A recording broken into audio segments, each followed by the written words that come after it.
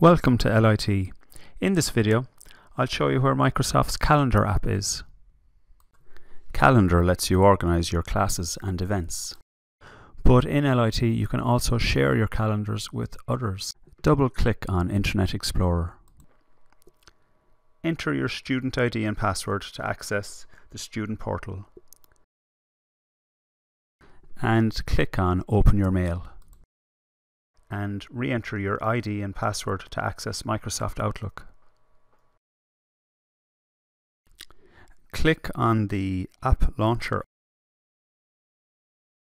and then click on Calendar. And there it is. To add an event, just click on a day and fill in some details.